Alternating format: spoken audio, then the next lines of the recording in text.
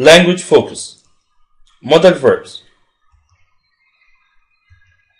Giving advice in the present or the future. To give advice in the present or the future, we can use should, had better, ought to, plus the infinitive. You should drive carefully. You ought to drive carefully.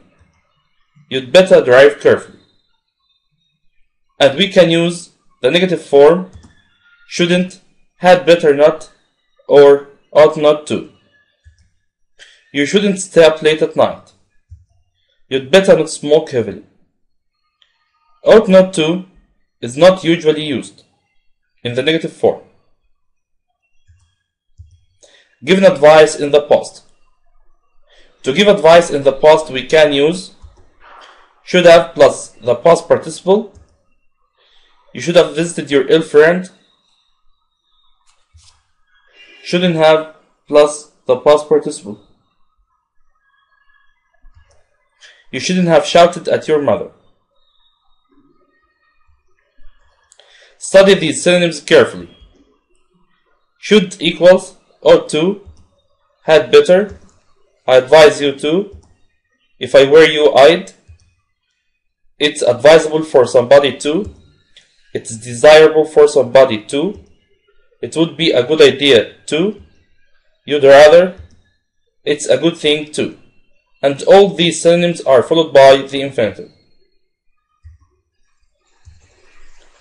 Shouldn't equal, I advise you not to, it's inadvisable for somebody to, had better not, it's undesirable for somebody to, if I were you I wouldn't, it would not be a good idea to, you'd rather not. And all these synonyms are followed by the infinitive. Obligation and necessity. To express obligation and necessity, we use must, has to, or have to in the present, and all of them are followed by the infinitive. Ali must attend the party. He has to play the match. I have to sleep early.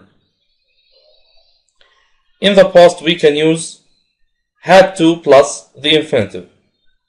I had to revise my lessons. But in the future, we use will have to. I will have to study hard.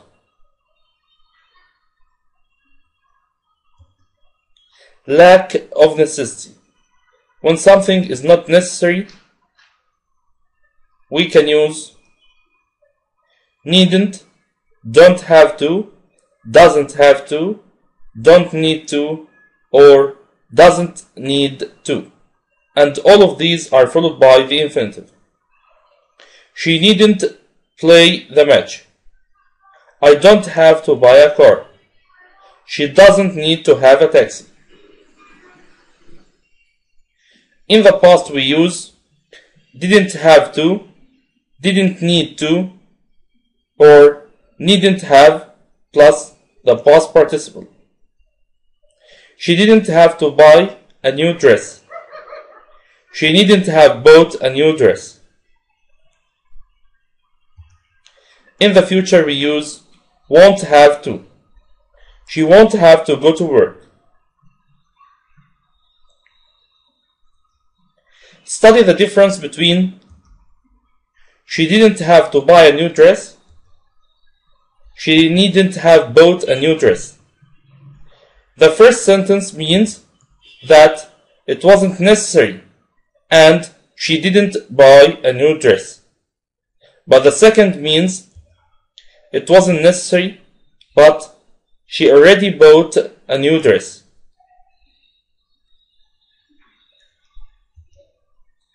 Prohibition. To express prohibition when something is prohibited or forbidden, we use mustn't plus the infinitive. You mustn't park in a no parking area. You mustn't smoke in hospitals. Study these synonyms carefully. Mustn't equals it's not allowed to. It's forbidden to. It's banned to. It's against the law to. It's prohibited.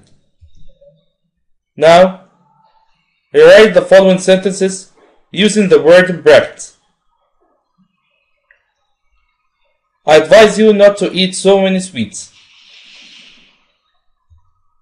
You shouldn't eat so many sweets. I advise you to go to the gym more often to keep fit. You should go to the gym more often to keep fit. You can't drive at more than 110 kilometers per hour on the motorway. You mustn't drive at more than 110 kilometers per hour on the motorway.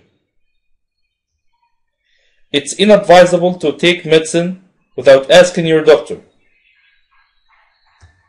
You shouldn't take medicine without asking your doctor. It's necessary for us to be economical. We must be economical. You mustn't park here. You are banned from parking here. Or we can say, parking here is banned. You mustn't smoke in the theater. Smoking is forbidden in the theater. You must leave at once. It's obligatory for you to leave at once. It would be a good idea to read a lot in your free time. You should read a lot in your free time.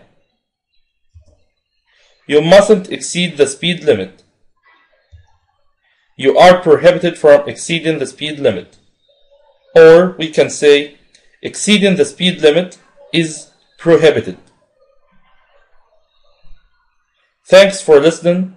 With Nafham, learn easily and simply.